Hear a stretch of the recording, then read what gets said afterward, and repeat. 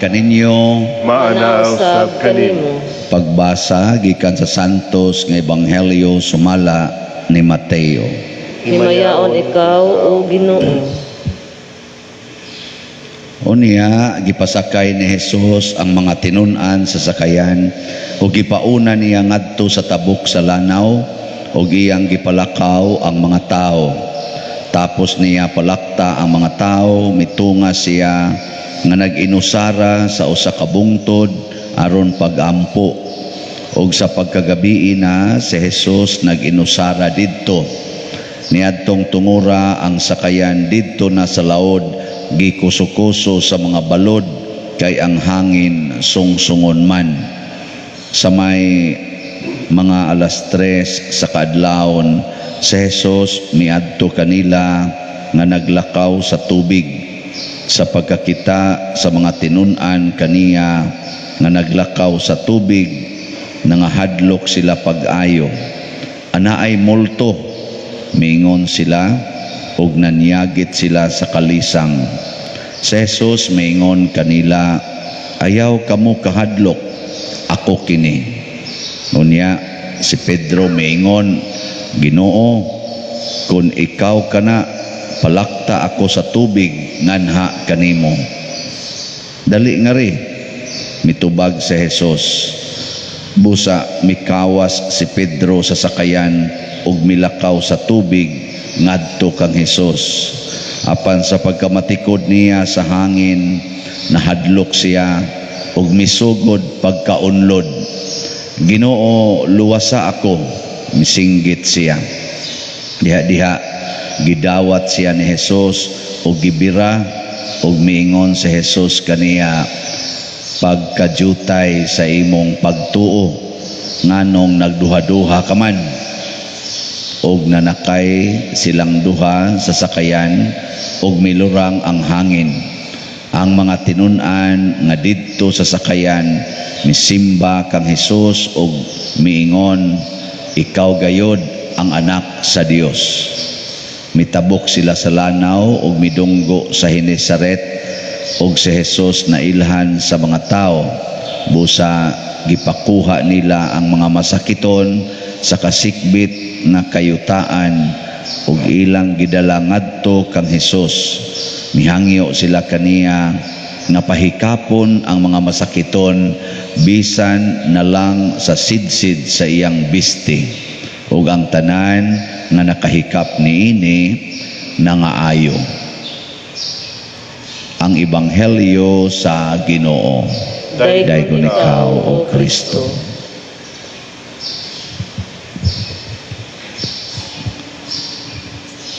Si Jesus mga igsuon nakalakaw ibabaw sa tubig unya nakaayo og mga masakiton nakapapahawag mga yawa naka-multiply og pagkaon. Why imposible niya? Niya adtong panahona usa siya ka tao. Anang tao gid ba? Mutuo ba mo nga kita makahimo sad sa iyang nabuhat? Kay tao man to siya. Ta tao gid ba? Kanang pares nato ba nahimo siyang tao. Pero ang iyang gibuhat makaingon sad ta usahay nga di man tingito siya tinuod nga tao kay sunan kay ang pagkaon lima kapan multiply pakanon pang lima kalibo niya sobraan pagdusi kabukag niya lakaw pa siya sa tubig bisag purting kusugas bawod hangin pab lakaw ra siya sa tubig ibabaw niya ang mga masakiton hikap lang sa sidsid sa iyang sinina. Ayo dayon. Karon ini gumagmisab na amoy sakit hikap mo ani akong sinina. Now na to di ba mo samot? niya ang kuan pagyod kanabang mga yawa papahawaon niya. Kita lain man ta mudaghan man og yawa non ug nanata iguli ron niyo inyong balay ambot mawa ba kang yawa mawang yawa o mudaghan? Ha? Ambot lang ninyo. Nguna, nganong nakahimo man si Jesus na ini? Ang unang rason ligon kay iyang pagtuo sa amahan. Wa gid siya pagduha-duha. Si Pedro ligon-ligon ba sang iyang pagtuo? Gani gideklarar man ni Jesus ikaw Pedro bato ka. Ni anhin ako tukuro ng akong simbahan. Kay ligon lagi. Pero si Pedro pagingon niya palakta sa kustubig nga nimo. Ingon si Jesus giingari lakaw. Nakalakaw man gid siya. Pero pag sud nas kahadlok kahadlok sa hangin kahadlok sa balod kahadlok nga maunlod ug mamatay ang naunlod na gid hinoon. Porti na ginon pagkaunlora kana bitang atong gikahadlokan maunay mulamoy nato. Kanang imong gikahadlokan maunay mahitabo nimo. Maunay timani hadlok ang maimpirno maimpirno na ginoon ka. Hadlok ang masakit masakit na ginoon ka. Hadlok ang masakitan masakitan na ginoon ka. Basta kanang imong ikahadlokan mo na mahitabo nimo ah, tanawa sa unang pagbasa si Aaron o si Miriam naglagot ni Moises. Kay mura man silag mawag mawa nas passing mura bag mura bag ang ilang ikahadlokan ba nga wa naman tay kwenta ani? Ana tagoy gakuyog nganong si Moises naman lang ginay magsigig sulti nganong siya naman lang ginay paminawon siya na lang gyud maghimog desisyon siya na lang gyud paminawon sa Ginoo siya na lang gyud mouthpiece sa Ginoo. Mura bag nahadlok sila ba nga? Mawa ang tas passing ani? Ah pag kahadlok adto nila nasanlahon na gid hinoon si Miriam. Nya unsa man ang sanla sa unang panahon ipalayo gyud kas community. Di porti na ginoong pagkasalikwaya tugkan man siya sanla mo na ikaw mahadlok ka nga dili tagdon di ba naman taan ang kinaiyahan no ano ba mga kiispi ba? Niya og dili gani matagad dayong kag kusmod. Musamot na ginong di nakatagdon may pagmuuna na lang kag tagad. Ay napay mo tagad nimo tingaling duha ka buok. At least wa kag reject sa duha eh. reject kas tanan. Nya ni una kag tagad sa tanan di. Basig na duha usa nga mo tagad nimo di. Okay lang kay na kaysa mong kusmo di mong naong ang tanan nino mm, kusmo na siya. Ambot lang unsa na siya diha. Ah, di na ginong katagdor agi-agian na ginong kanya. Magsige na kay gingon wa na lang mo kibaw na ko ako'y gap bangka ninyo aning pagkaon din niya ako pay dako kay natampo niya ako pay di nyo tagdon. Kana niyo yung tagdon undi ang mga kuang-kuan? Abi kay ingon ani raman ang kong naong. Ang ana ba nahabit to to'y akong gimisahan nga reunion ba? 30 years nga reunion. Sa kana bang batch sa high school ba? Ibaw biya kaning high school nga anha diha mang uyab-uyab nya anha diha magkana ganing anha diha ang kana mga away-away. Nana nya 30 years after nag nagkuan sila nag-reunion ang ang kato yung mga sikat-sikat sa ilang batch ubay-ubay gito sila nga 100 kapin man ito sila nga nag-reunion. Dahil nindot kayo diha sa usa ka da- dako nga hotel kay daghan na ba mga abroad nila. Sus kay suod-suod man sa tunako sila nga batch pag human sa reunion na nag-away. Na ron sila. Faction na nag-away na. So karon tagurhan na ilang reunion kada tuig na ay reunion A na sa reunion B. Oh, na na. Na kung anong na nag-away man to ang duha di ay ka mga banggiitan na karon dato na sad nga katong influential nagka silusay kay ang iyang ex sa una nga karon divorce na nag-ana man sila. Ana ha ta dito nagsugod ang tanang panghitabo nga yawanon na reunion na dis reunion na hinoon nga naman wa man goy Ginoo. Way pagtuos Ginoo. Kini manggong pagtuos Ginoo faith is power.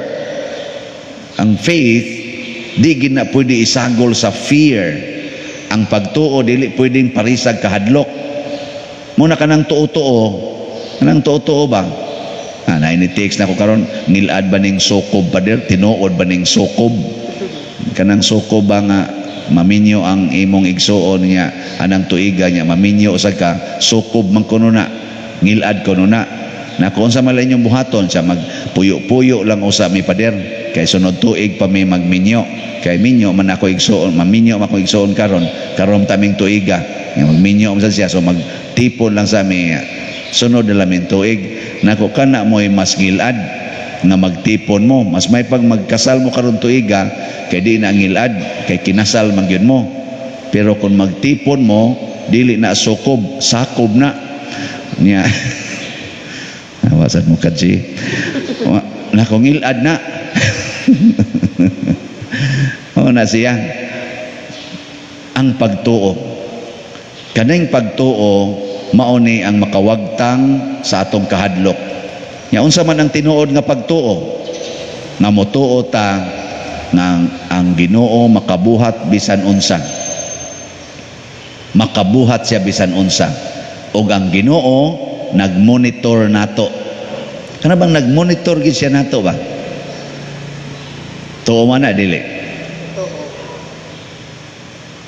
Tuo mo anong hinayan kay mong tingog kana bang nagmonitor gid siya nato?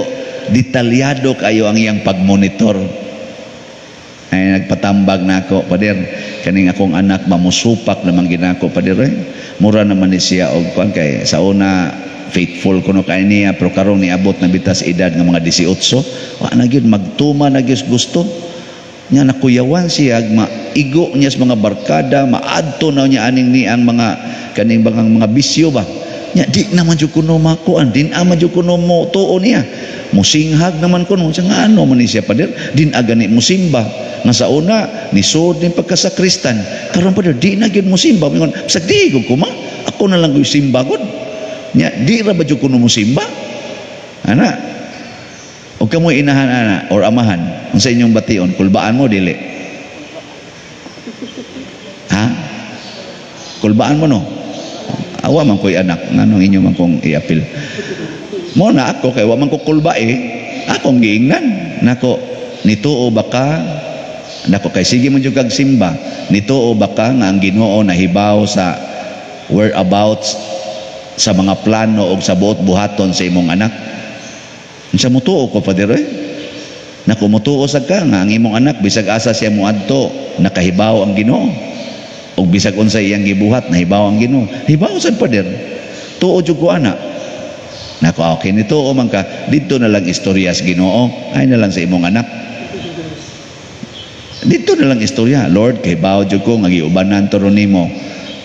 Ang imong pagbuot mo'y akong dawaton. Ana ay niguli sa imong anak siga na kaig mata nakaibaw man Ginoo na god. Nga nisuyop na siya pwede ra man sa nagpatyon siya sa Ginoo wagi parang Miriam ba pwede ra nabutangag sanla eh Unya kay paguli sa imong anak gikang ni soyop, wa man mamatay. Unsa may imong isultis Ginoo? Mingo, Ginoo, nganong ni suyop pa ni akong anak, nganong gipasuyop pa ni nimo? Wa biya na niya sugo ang gipasuyop. Ni suyop lang siya. Nya unsa may imong isultis Ginoo? Pasalamat na namin. Kana pasalamat ng imong anak makasuyo pa. Unsa may gusto nimo kanang i-oxygen? may nila na makasuyop. Pero imo sang isultis Ginoo gisakitan ko Ginoo nga iyang gigamit ang iyang capacity sa pagsuyop diha sa drugas. Gisakitan ko ug nasayod ko nasayod ko nga gisakitan nasayod ko nga nasayod ka nga gisakitan ko ug didto sa ka nagtan-aw samtang ni suyop siya. Nya kay wa man nimo siya patya pasabot gihigugma nimo siya isip manuyupay. Kinsa man ko nga modumot niya so makig-alayo na lang ko nimo. Sama ni Pedro ba? Mulakaw na lang ko tubig kuyog nimo. Pasabot di ko magpa magpatarog ni ining baud sa pagsulay. Ako na lang dawaton. Sama nimo nga gihigugman ni nimo akong anak nga manuyupay higugmaon ko sad ni. Ug unsa may sunod ani kahibaw kong nahibaw na kandaan. Ana o tanawa ikaugma madakpan ang imong anak. Maapil nas tukang anya adto nas prisuhan ningo mas Kristo nabilanggo ako og imo kong giduaw. O di doon na nakaiduaw nun dito sa prisuhan anya matuma na na nimong makapalangit nga buhat ang pagduaw sa binilanggo. Di ba?